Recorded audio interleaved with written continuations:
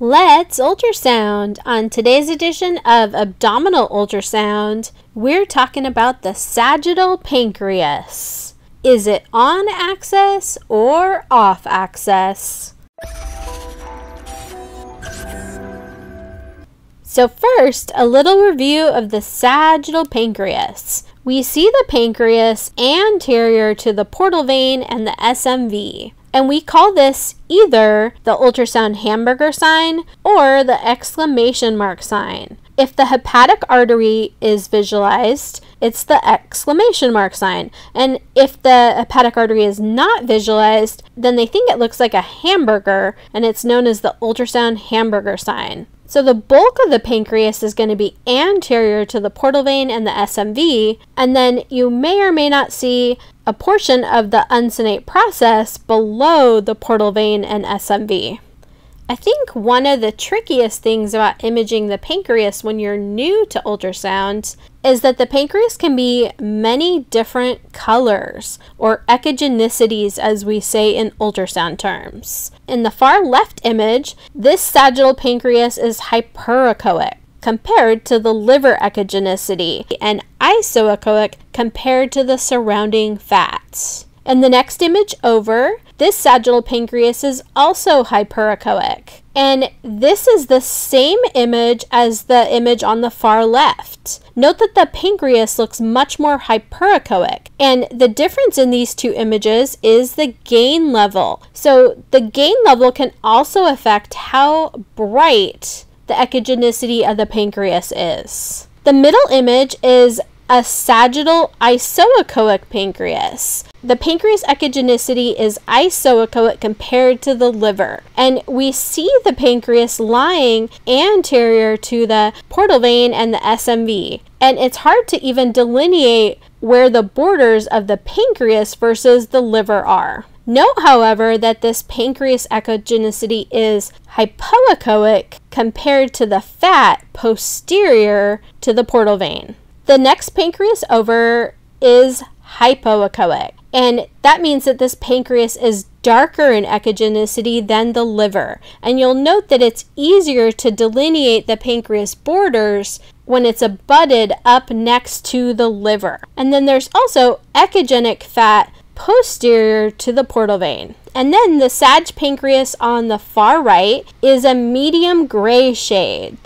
And the liver is actually slightly hypoechoic to the pancreas echogenicity. And note the visualization of the pancreas uncinate process inferior to the portal vein. And this is shown with the yellow arrow in the image. So how do you tell if the sagittal pancreas is on axis versus off axis? Let's look at some examples. In the image to the far left, this sagittal pancreas is off axis. And we're looking for the exclamation mark sign. And this is a hyperechoic pancreas. However, we're only seeing a portion of it because the portal vein and the SMV is not elongated fully. In the next image over, the sagittal pancreas is on axis, but it's compressed. Just like the pancreas, neck and body can be compressed in a transverse image, it can also be compressed in a sagittal image. Now note that the hepatic artery is present and you can also see a nicely elongated portal vein traveling into the SMV. But the key here is yes, you want to get the vessels elongated, but you also want to ensure that you're showing as much pancreatic tissue as possible. So in this case, coming higher up in the body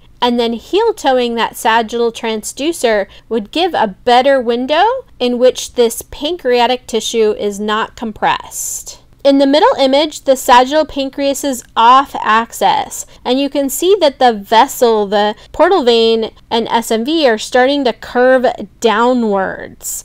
And when you start to see this, it means that you're not sagittal to the lie of the pancreas itself, rather, you're more sagittal to the body. And note in this example, the pancreas echogenicity is isoechoic to the liver. In the next image over, the sagittal pancreas is on axis, and we see that nice exclamation mark sign, and we see that elongated portal vein moving into the superior mesenteric vein, and we also see the hepatic artery. And you can see a portion of the pancreas on top of the portal vein, and then also a portion of the uncinate process posterior to that portal vein. And note that the pancreas echogenicity is similar to the liver, it's just maybe slightly brighter. And then you can also see the stomach anterior to the SMV. And then in the far right image, we have another on axis sagittal pancreas. And this is a hyperechoic pancreas.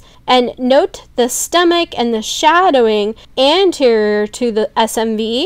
And it's important to note when you're imaging the sagittal pancreas that a gas cloud from the stomach often covers the SMV. And note also in this example that the portal vein into the SMV is nicely elongated, and there's clear pancreatic tissue anterior to that portal vein.